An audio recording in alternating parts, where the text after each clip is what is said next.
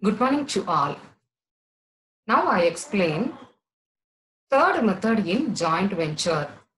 The third method is memorandum joint venture method. Under this method, each venturer records only such transaction which directly concern him. That means it is similar to the joint venture method and co-venturers individual ledger they concern only their transaction not for others. First problem. Chandu bought goods of the value of rupees 10000 okay. In this problem c and b are co-venturers.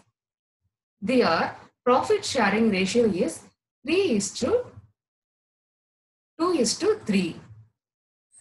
C had expenses rupees 400 and rupees 120 for their joint venture. He drew a bill rupees 3000 to B, that means Bindu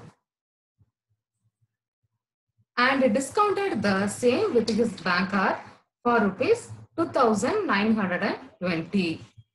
We sold the goods rupees 14,000 and paid selling expenses rupees 250. And he take uh, unsold stock worth rupees 100 and sorry 1150. Then balance is transferred to uh, sorry, Bindu forwarded a draft for the balance due to After charging sales commission at 5% on gross proceeds. Okay. Bindu got a sales commission because he is seller in this joint venture. Prepare memorandum joint venture account. First, we have to prepare memorandum joint venture account. In the name memorandum joint venture account, it is similar to the joint venture account. So Bindu sales, how much sales? 14,000. You take unsold stock, how much? 1,150. It is similar to the joint venture account. And what are the expenses they have it? Chandu, goods rupees 10,000. Expenses 520, 400 plus 20. Then discount, how much discount he draw bill 3000 and receive amount only 2920 so discount amount is 80 bindu expenses is 250 then bindu commission is 700 700 is from 5 percentage on sales. Sales amount is 14000 so profit is 3600 it is divided in their profit sharing ratio is 2 is to 3. So it is similar to the joint venture account. Now we have to prepare a individual ledger in the books of Chandu, joint venture with Bindu. Okay, what are the transactions Chandu made it? Bills receivable 300. Okay, then goods worth 10,000. Cash expenses 520 bills receivable discount 80 then profit.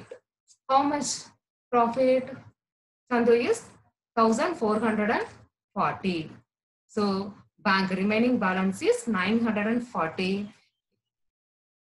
this is the remaining balance. Then in the books of bindu joint venture with chandu. How much he got a sales? 14000 unsold stock is 1000 150. Bills payable 3000. Cash expenses 250. Commission 700.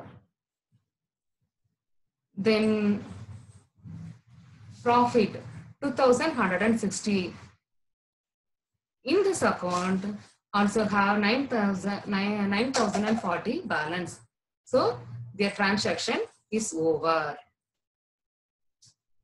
because remittance amount it is same it is started for Chandu and Bindu.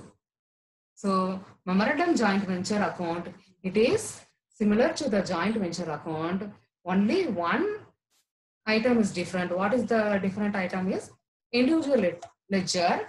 Individually, they maintained their transaction only.